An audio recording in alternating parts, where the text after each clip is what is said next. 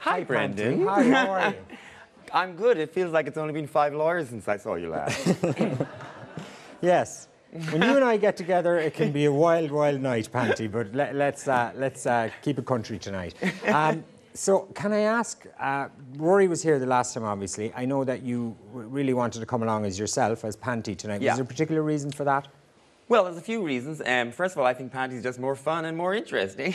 And um, also, Panti's been designed for public consumption. I mean, that's one of the good things about doing drag. You have like this public persona and a private one.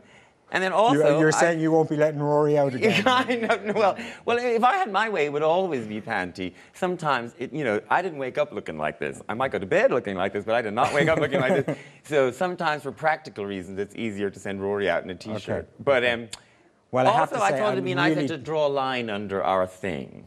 You know, Yes. Yes. Yes. Yes. and I, I don't. We definitely don't need to go into all of No. that again tonight. But let's talk about what happened afterwards, because I think um, for for you, Panti, it, it probably was a life changing thing. Was Yeah. it in a good way or a bad way or a mixed way?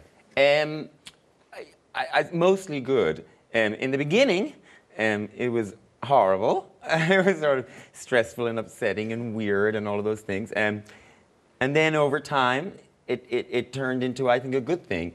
Um, not just for me personally, but I think it turned into a good thing for the country. I think the country needed to have that conversation, and no matter what side of you're on, I think it was good that we had the conversation. Um, and in general, I think uh, for me, it's been a good thing in the end. Uh, people are lovely about it.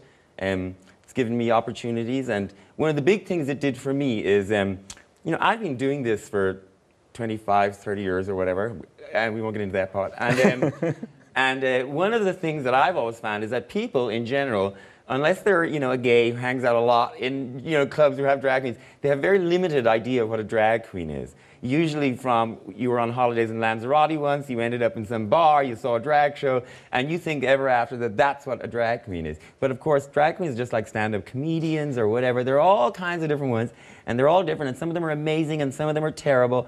And um, so people have that limited thing. And before that, all that kerfuffle. Um, I was always having to fight against that. And so when I'd be doing my theater shows and that, I'd always have to try and persuade people that it was worth paying a theater prize ticket to go and see the- a show in a drag queen. Yes. Where, because people don't really take it seriously very much. No, Whereas now maybe people take me too seriously, if anything. You see, that's it.